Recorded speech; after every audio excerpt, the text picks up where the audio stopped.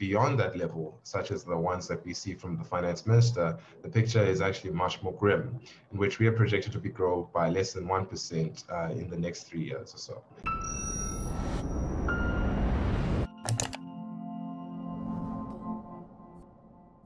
Due to the COVID crisis, central bankers all around the world have been cutting interest rates in a desperate effort to try and stimulate some kind of economic growth. This has happened certainly to an extent in South Africa. And here to discuss the interest rates and central banking is CRA analyst Bheki Mahlobo. Now, Bheki, tell us uh, in the last MPC meeting, we had the central bank keep interest rates the same. What do you think is likely to happen in the next meeting? So there are two indicators in which the MPC uses to essentially use for an interest rate decision within the country. The first is that of inflation, which is used by looking at the CPI. Currently, the CPI stands at 2.9%. The MPC aims for a region of around 3 to 6% with a favorable figure of 4.5%. And if inflation reaches those levels, may actually see decision to increase interest rates during the course of this year. Now, that needs to be read against what's currently happening within the South African economy. As if we see growth within the South African economy, then the SARB may take decisions to actually increase interest rates. However, the picture is quite grim when you're looking at economic activity within the country. Uh, this year, we're projected to grow by 3.3%, but this is not actually real economic growth. This is largely due to the low base of 2020, and now with any level of economic growth this year will create a substantial increase in the GDP figure.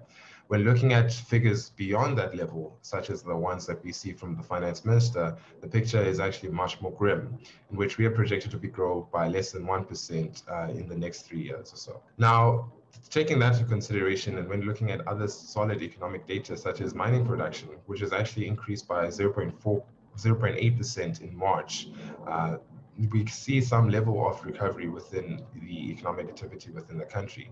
Now, you need to read that against the massive decline in mining production in April of last year of around 49%.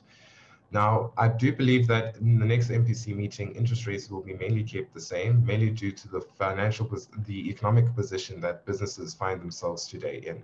Enjoying this analysis? Click here to sign up for our 30-day free trial for more content from the CRA.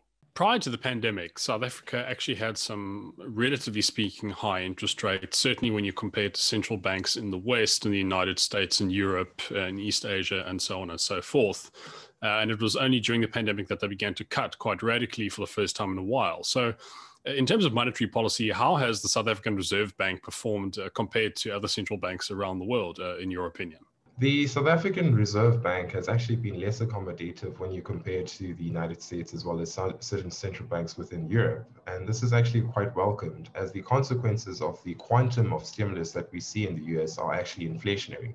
Uh, United States interest rates are actually at zero, and as well as with the new stimulus package of $2 trillion being printed, that will cause hyperinflation or, or high inflation within the US economy. That said, the because of this decision, which the South African bank has chosen not to be as accommodative as other central banks around the world, they have faced criticism within certain ANC members, the ones that follow the ideology that of modern monetary theory. And the theory goes as such that essentially the country can never go bankrupt as well as so long as it prints money in its own currency. And this is actually a dangerous thinking that we see with certain ANC officials, as the consequences of a central bank essentially loosening its monetary policy are inflationary, in which that will have consequences of hyperinflation within the country.